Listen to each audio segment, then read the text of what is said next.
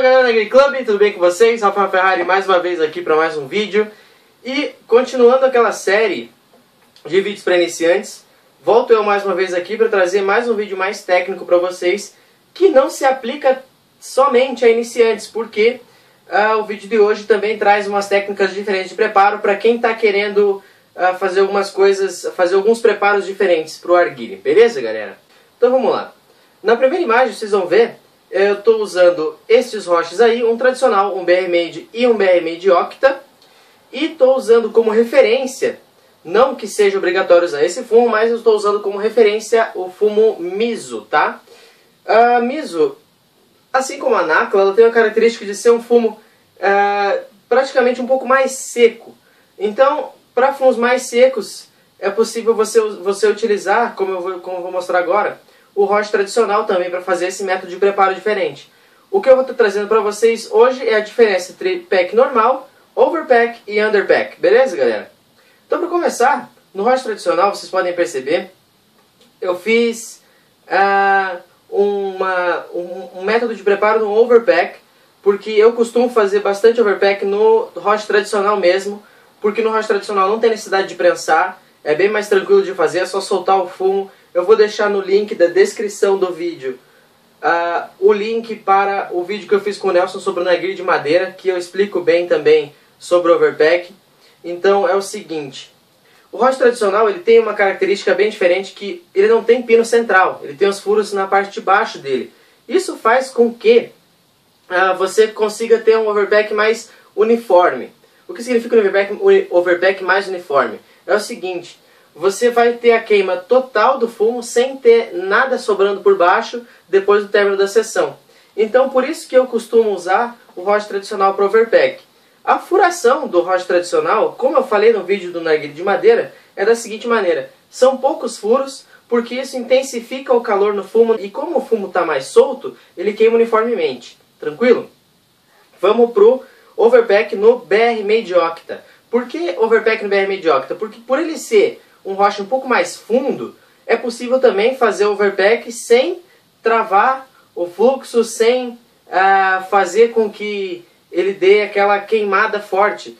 Porque é o seguinte, como você tem um roche funnel, não precisa ser exatamente BRMade de Octa, tem opções também, tem BRMade Prime, tem funnel chinês para quem está começando, que é um roche barato, funnel chinês fundo também é uma opção.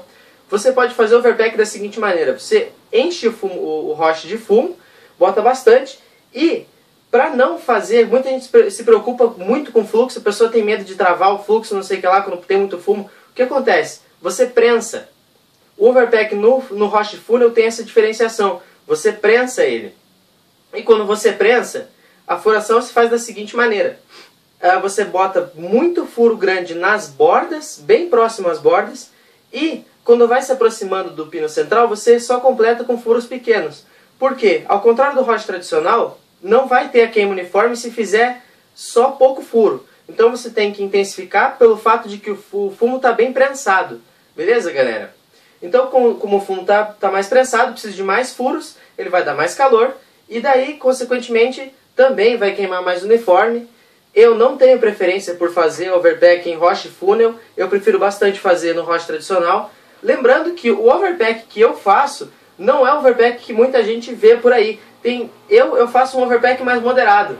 Eu não costumo fazer aquele, aquele overpack com muito, muito, muito fumo. Vamos lá. Para quem quer economia, isso é uma coisa importante também. Para quem quer economia, faz um método chamado underpack. E esse underpack eu costumo fazer quando eu não quero uh, gastar muito fumo ou quando eu não quero fazer uma sessão muito longa. Que por sinal, eu vou deixar também na descrição do vídeo o link para o vídeo do Wilson que ele fez sobre sessões econômicas. Ele tem lá a questão de valores, de gastos que foram utilizados na, na, na sessão durante, o, durante a, a, o preparo, durante a duração inteira, entendeu? Ele tem vários uh, aspectos bem técnicos lá que são bem interessantes, então vou deixar embaixo também. E a questão do underpack é esse, é esse esquema. Se você não quer gastar muito fumo, se você quer fazer uma sessão mais curta para fumar sozinho, então ele é bem válido. E eu uso o underback da seguinte forma no BR Made comum. Vocês estão vendo a imagem agora no BR Made normal, primeira edição do BR Made que saiu. É bem pouquíssimo fumo mesmo. O que caracteriza o underpack? Vocês também podem fazer no roche fundo sem problema algum, mas eu costumo fazer nesse, então eu deixei uh, a imagem só do BR Made uh, normal, tá? Mas o que, o que, que, que, que é importante vocês analisarem?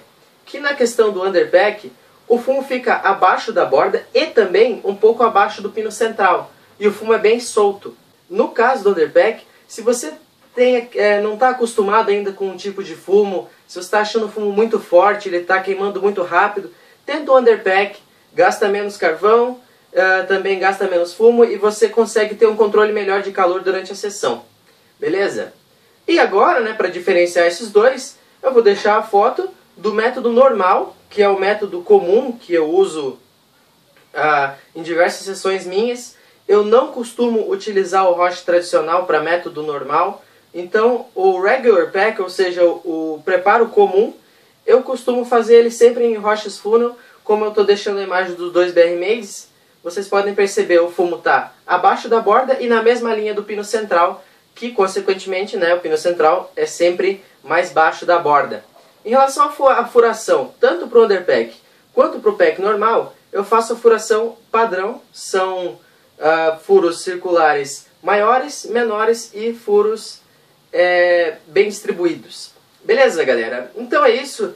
Foi uma review, aliás, um vídeo bem mais técnico, um vídeo um pouco mais... Algumas pessoas podem considerar chato, mas é uma coisa bem importante para quem está procurando novas maneiras de preparo, para quem está começando para aprender que existem três maneiras de preparo.